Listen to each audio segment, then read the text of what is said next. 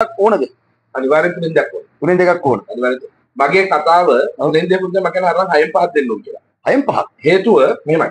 මේ සියලු කාරණා අපි දැන් කියනවානේ මේ මේ කාරණා මේ කියන ප්‍රශ්නත් එක්ක අපි කියනවානේ මේ ආණ්ඩු ක්‍රම ව්‍යවස්ථාවේ තමයි මූලික ප්‍රශ්නේ තියෙන්නේ. මේ විධායක ජනාධිපතිකමේ තමයි මූලික ප්‍රශ්නේ තියෙන්නේ කියලා. හරිද? එතකොට මේ විධායක ජනාධිපතිකමේ නම් මූලික ප්‍රශ්නේ තියෙන්නේ. මේ මේ ආණ්ඩු ක්‍රම ව්‍යවස්ථාවේ නම් මූලික ප්‍රශ්නේ තියෙන්නේ. මේක පටන් ගන්න කොහෙද? 1978. ඔව් ආණ්ඩුව පටන් ගන්න කොහොමද? හයෙන් පහක බලයක් එක්ක. ලාල් දන්නවා ලංකාවේ තුනෙන් දෙකේ ආණ්ඩු කවද්ද වැඩ කළ තියෙන ලංකාව ජනතාව තුනෙන් දෙකේ ආණ්ඩු කළ තියෙන මර්ධනය විතරයි ඒකින්ද ආණ්ඩු තුනෙන් දෙකක් දෙන්න දෙන්න එපා අපිට සුළු බහුතරයක් දෙන්න ආණ්ඩු කරන් යන්න හොඳ දේ කළොත් අනිත් කට්ටිය සහාය දෙයි නැත්තම් ඉතින් මර්ධනය තමයි ඈ තුනෙන් දෙකක් තුනෙන් දෙකක් දිය යුතුයි. දිය යුතුයි. දිය යුතුයි. තුනෙන් දෙකක් දියන්න. මගේ මතේ තුනෙන් දෙකක් දිය යුතුයි. දිය දීලා මේ වැඩ ටික හරියට කරගන්න ලයින් එකකට දාගන්න දිය යුතුයි. දිය යුතුයි. ඔව්. ඔබතුමා හිතනවා තුනෙන් දෙකක්? තුනෙන් දෙක අනිවාර්යෙන් දිය යුතුයි. දිය යුතුයි. අරවද නම මාත්‍යා පොඩෙන් පොඩෙන් පොඩෙන් මොකක්ද අද ලොකු ප්‍රෙස් එකක් තිබ්බේ කිය මොකක්ද හේතුව? ඔව් මෙහෙමයි දැන් මේ ආණ්ඩුවෙත් දැන් මේ ජනාධිපති ඇමතුරු දෙන්නෙක් ඉන්නේ. ඔව්. රාජ්‍ය ආයතන ගොඩක් එදෙනලා දෙනින්දා රාජ්‍ය ආයතන පරණ හිට මිනිසු ටික ඇමතිවරුන් අන්දගෙන වංචා දුෂණ කරන විශේෂයෙන්ම මාර්ග සංඝ අධිකාරිය සහ මගනැගුම අය ඊයේ පෙරේද බිලියන 4ක් පාස් කරන් තිනවා ට්‍රෙෂරි බිලියන? හතරක්. බිලියන හතරක්. ඔව්. අම්මට සිරි ඉතින් එතකොට ඒක නරායන වික්‍රමසිංහ තිබුණා කිලෝමීටර් 1500 ප්‍රොජෙක්ට් එකක්. ඔව්. ඒ ජම්දෙනදා ප්‍රොජෙක්ට් එකක්. හැබැයි කිලෝමීටර් 1500 මාර්ග හදන්න එක එක කිලෝමීටර් හදලා නැහැ. නමුත් ඒකේ කොන්ත්‍රාත්කාරයන් සල්ලි ගෙවන්න කියලා බිලියන හතරක් පාස් කරගෙන බිලියන හතරේ ගෙවන්න තමයි ලෑස්තිලා හිටියේ පස්සේ මම අමතුමාට පොඩි නෝට් එකක් දැම්මම ඔව් දැමතුමා ඉතින් අමතුමාට පොඩි නෝට් එකක් දැම්මට පස්සේ මට ආරංචි ලැබෙන හැටියට ඒ ගෙවි මතක කළා කියලා තමයි තියෙන්නේ. එමනම් හොඳයි. හරිද? නමුත් කවදාකවත් පාර කිලෝමීටර් හදන්න නැතුව බිලියන හතරක් එළියට යන්න ගියේ. මේ ආණ්ඩු වෙලා නැතුව? නෑ අන්ඩුව ඇතල මේක මේක ඇවිල්ලා රනිල් වික්‍රමසිංහ දේශපාලන ඥාපතිතුමනි බිලියන 20ක් පාස් කළා ට්‍රෙෂරියට පාරවල් හදන්න කියලා. ඔව් ඒ පාරවල් හදගෙන වෙනස් වෙන් කළේ මන්ත්‍රීවරු ගමට යන්න බෑ සල්ලි නැහැ කිව්වා මන්ත්‍රීවරු සල්ලි දෙන්න තමයි ක්‍රමේ හදාගත්තේ. නමුත් දැන් පරාද වුණානේ. පරාද වුණත් ඒ නිලධාරීන් ටික එකෙන් දැන් මොකද හේතුව ඒ වරු කොන්ත්‍රාත්කාරයෝ අල්ලගෙන මේ සල්ලි ටික පාස් කරන්න තමයි හිටියේ. ඉතින් මේ ආණ්ඩුවට ඇත්තටම වැඩ කරන්න නම් තුනෙන් දෙකක බලයක් ඕනේ නේද පිස්සු කතා. ඇයි ලාල් අපිට වඩා දේශපාලන දන්නවලා. ලාල් දේශපාලන කරපු මිනිස්සේ. ලාල් ඡන්ද තිල්ල මිනිස්සේ. ලාල් දන්නවා ලංකාවේ තුනෙන් දෙකේ ආණ්ඩු කවද්ද වැඩ කරලා තියෙන ලංකාව ජනතාව. තුනෙන් දෙකේ ආණ්ඩු තියෙන මර්ධනය විතරයි. ඒකින්ද ආණ්ඩු තුනෙන් දෙකක් දෙන්න දෙන්න එපා. අපිට සුළු බහුතරයක් දෙන්න ආණ්ඩු කරන් යන්න. හොඳ දේ කළොත් අනිත් කට්ටිය සහාය දෙයි. නැත්තම් ඉතින් මර්ධනය තමයි ඈ. තුනෙන් දෙකක් දුන්නොත් මම නම් විශ්වාස කරන්නේ නැහැ බලමුකෝ එහෙමනේ. ඔය පුටුව ගැන මම හැමදාම කියලා තියෙනවනේ. hot seat එක. hot seat එක. රයිට් රයිට් මොකද හිතන්නේ තුනෙන් දෙක దియ్య అవుతుంది దియ్య అవుతుంది దియ్య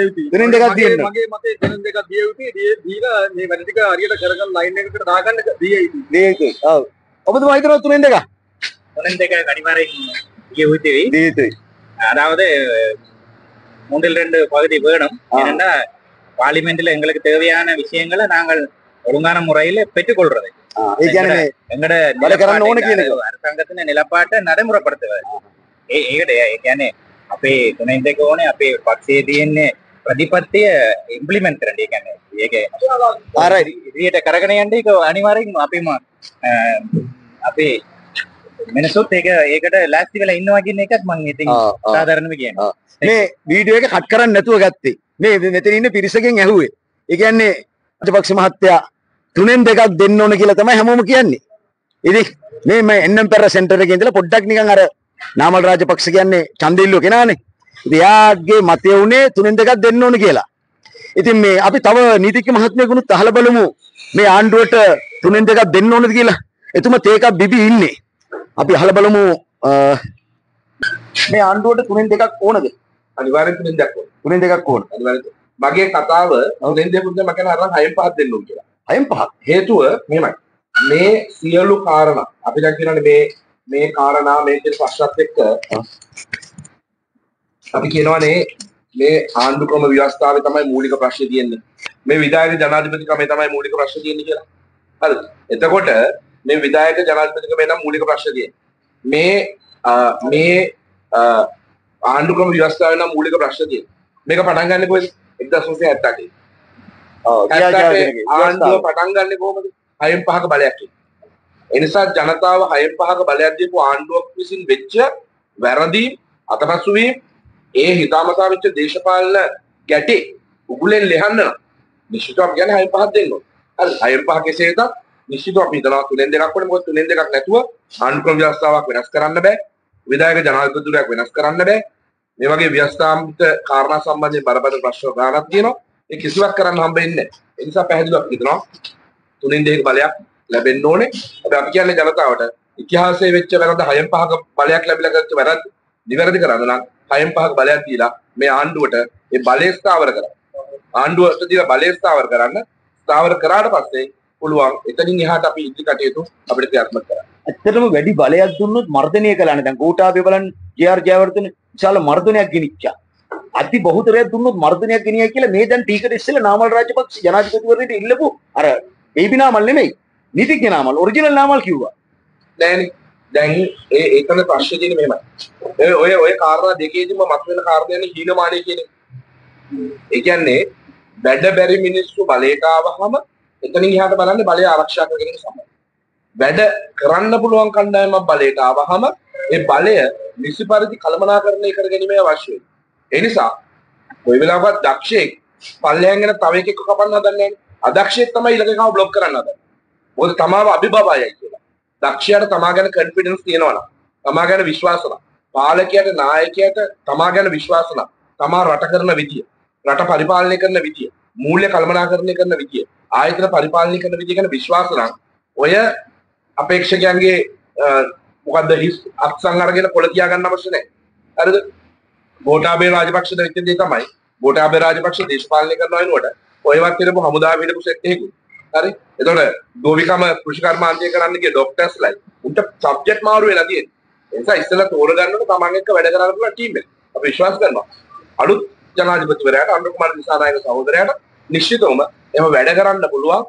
ඒ වැඩ කරන්න හැකියාව තියෙන සබ්ජෙක්ට් වයිස් මතක තියාගන්න. සබ්ජෙක්ට් වයිස් අදාළ ටීම් එකක් ඉන්නවා. ඒ නිසා බලය ලැබෙනවා කියන්නේ බලය ලැබෙන්න ඕන තැනට බලය නොලැබී. හරිද?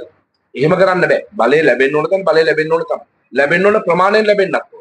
එහෙම නැත්නම් බාගෙට දීලා අපි කියන්නේ අපි කියන්නේ අක්කරයක් වපුරලා අක්කර 10ක අස්වැන්න බලාපොරොත්තු වෙන්න බෑ. අක්කර 10ක අස්වැන්න ඕන නම් අක්කර 10 අස්වැන්නන්න ඕන. ඒතකොට ඒ නිසා ඒකට අවශ්‍ය බලය නිසි පරිදි මේ ආණ්ඩුවට ලබ දැන් මෙච්චර කල් මිනිස්සු බලය බලය දුන්නානේ. ඒ බලය දෙනකොට ඔය කතා මුකුත් බැලුවේ නැහැ. ඒ නිසා ඒ ගැන තමත් පැහැදිලි. බලය කියන එක ලැබුණොත් බලය කියන එක ලැබෙන ප්‍රමාණිත ගත්තාම නිශ්චිතවම මේ ආණ්ඩුව මේ රජයේ මේ ජනාධිපතිවරයා මේ කණ්ඩායම ජාතික ජන බලවේගය ඔවුන්ගේ කාර්යය සහ කර්තව්‍ය කරයි. ඒ වෙනුවෙන් අපි ඔවුන්ට අපේ උපරිම සහායය ලබා දෙනවා. ඔවුන් ට්‍රැක් පයින්න කරක ඔවුන්ට යම්කිසි ගැටලුවක් මතුවෙන කරක ඔවුන්ට යමක් අවබෝධ කරගන්න බැරි යන කරක මේ කාත් අපි කරා වගේ නිශ්චිතවම ඒ වරද සහ විය යුතු දේ පෙන්නලා නැවත නිසි මාවතේ තියාගන්න. මොකද මේක ජනතා ආණ්ඩුවක්. ඒ නිසා ජනතා ආණ්ඩුවක් ජනතාවාදී පාලනයක නිසි මාවතේ අරගෙන යන්න යම් බලපෑමක් කරන කණ්ඩායමක් හැටියට අපි නිශ්චිතවම කටයුතු කරනවා. පීපස් කුමාර සංවිධානය ඉබස් සුමරු සංවිධානය. thank you very much